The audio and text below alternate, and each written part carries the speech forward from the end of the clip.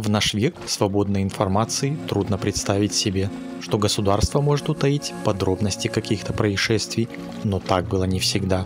Еще каких-то полвека назад люди были вынуждены довольствоваться сведениями, полученными из газет, а кто контролировал печать? Само собой государство. Советский Союз умел охранять свои тайны, Подробности трагедии держали под семью замками, чтобы у людей сохранялось ощущение нормальной жизни. Наверное, столько секретов, сколько хранила СССР, не было ни в одной стране мира. Железный занавес скрывал все, что не соответствовало красивой советской жизни.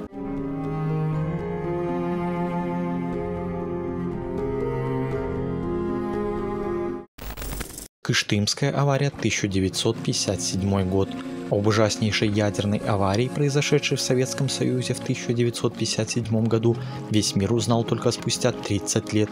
Трагедия случилась на юге России, недалеко от города Кыштым. Авария произошла из-за взрыва в емкости, в которой хранились радиоактивные отходы. Эта емкость имела форму цилиндра из нержавеющей стали и была покрыта бетоном. Причем сконструирована она была так, что в случае ремонта подобраться к ней было просто невозможно. Наверное, потому что прочности конструкции сомнений у разработчиков не возникало. В конце сентября из строя вышли охлаждающие системы. Заниматься ремонтом никто не стал. Ее просто отключили. Спустя несколько дней прогремел взрыв в хранилище с 80 метрами кубических ядерного мусора. Сила взрыва подняла часть радиоактивного мусора на полтора километра, в результате чего образовалось облако. Уже спустя 12 часов в радиусе 350 километров выпали радиоактивные осадки. Они накрыли собой территории Свердловской, Челябинской, Тюменских областей. Всего пострадало более 20 тысяч километров квадратных. В результате катастрофы были разрушены дома более 10 тысяч человек. От радиации пострадало около 300 тысяч человек. Впервые спецслужбам США о трагедии стало известно в 60-х годах. Но опасаясь отрицательного отношения к ядерным испытаниям, в мире о ней умолчали. А в 1976 году о ней в прессе заявил советский эмигрант. СССР подтвердила сведения о катастрофе лишь спустя несколько лет после взрыва на Чернобыльской АЭС. Холодная война между СССР и Западом диктовала условия первенства во всех отраслях жизни. Такая же позиция была и в сфере космонавтики, где СССР и США соревновались в том, кто первый из них запустит человека в космос. Все данные о проводимых исследованиях Советского Союза строго засекречивали, а многие имена летчиков, космонавтов, которые готовились к полетам долгие 30 лет, были засекречены. Так произошло и с Валентином Бондаренко, летчиком, который был членом первого космического отряда СССР.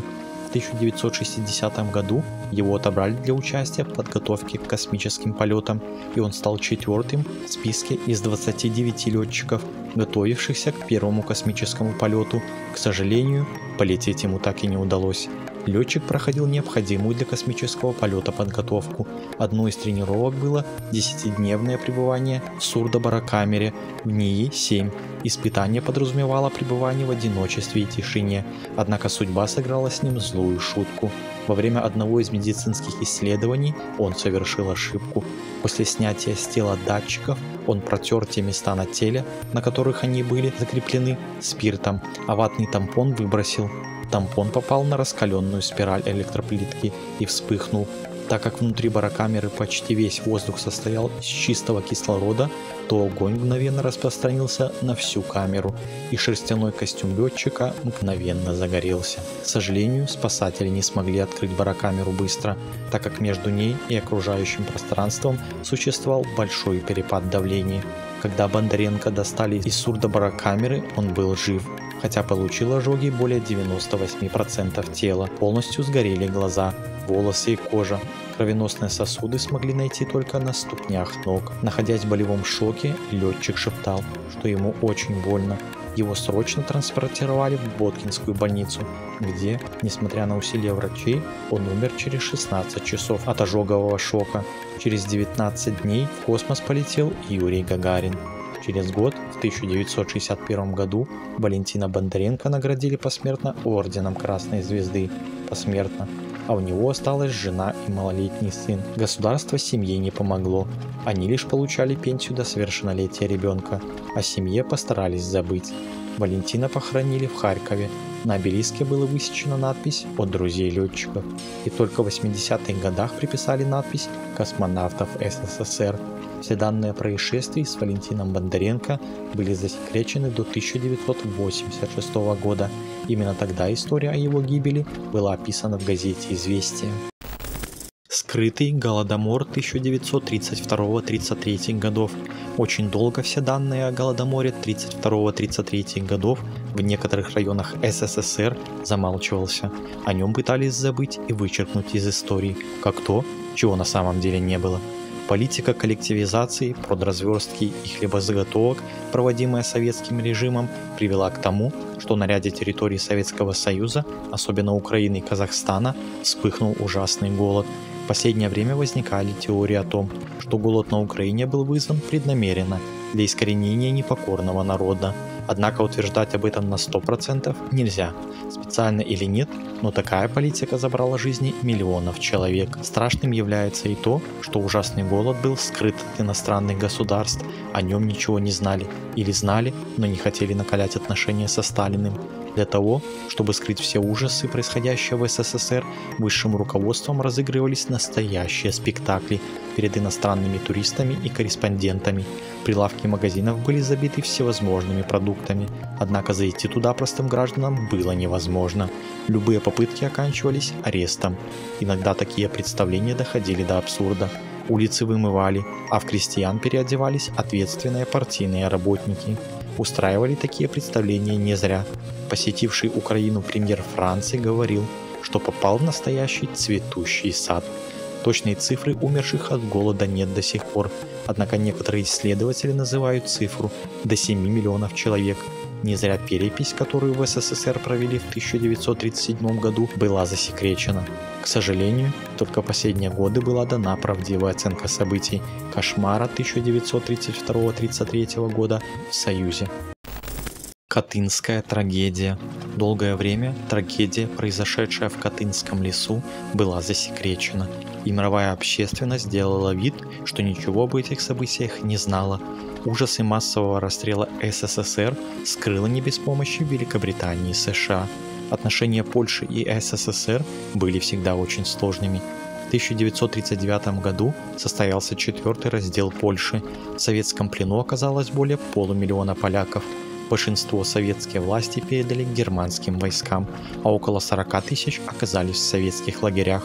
В 1940 году Берия заявил Сталину, что в лагерях на территории Польши и Союза содержится очень много бывших польских офицеров, работников разведывательных отрядов и националистов. Таким образом, было заклеймено около 25 тысяч польских граждан, чье прошлое не понравилось властям СССР. Было принято рассмотреть их личные дела с особой тщательностью и применить к ним расстрел. В апреле приговоренных группами по 350-400 человек вывозили в Катынский лес на расстрел. Особо опасным набрасывали на голову шинель и стреляли в затылок возле рва. При этом использовались пистолеты немецкого производства. Позже этот факт СССР использовала на Нюрнбергском трибунале, пытаясь доказать, что убийства совершали немцы во время оккупации СССР. Приехали делегаты, представители различных подразделений, в том числе из моей второй пехотной дивизии, пятого полка.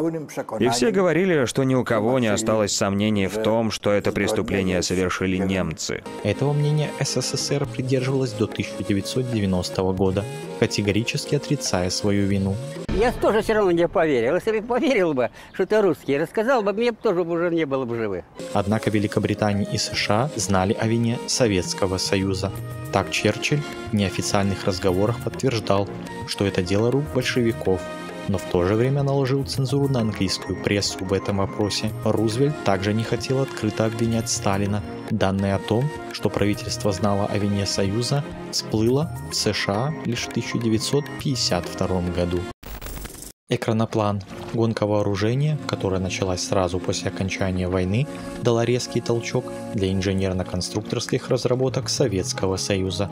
Одной из таких новинок стал экраноплан. В середине 60-х годов американскому спутнику-шпиону удалось сделать снимки неоконченного советского гидроплана. Американцев поразил громадный размер летающего судна. В США ничего подобного, конечно же, не было. Более того, американские эксперты заявили, что столь огромный размах крыла даже не позволил бы самолету взлететь. Размер был не единственной странностью летающего аппарата. Его двигатели располагались слишком близко к носу аппарата, чем к его крыльям.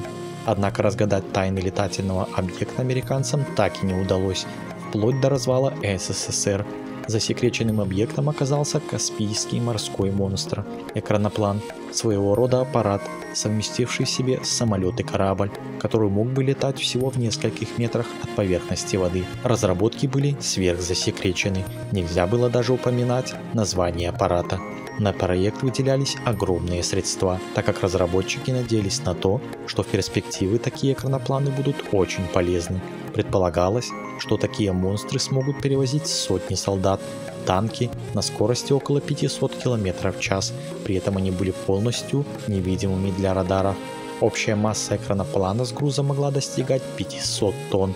На аппарате предполагалось установить экономные двигатели, которые бы поглощали топливо меньше, чем многие грузовые самолеты.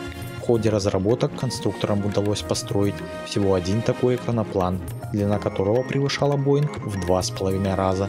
Он был оборудован восьмью реактивными двигателями и шестью боеголовками с ядерным зарядом. Во время первого полета экраноплана который был построен на Нижегородском заводе и авиастроительном имени Орджоникидзе, за штурвалом сидел сам конструктор гиганта Ростислав Алексеев. Испытания длились 15 лет, а в 1980 во время аварии экраноплан был уничтожен.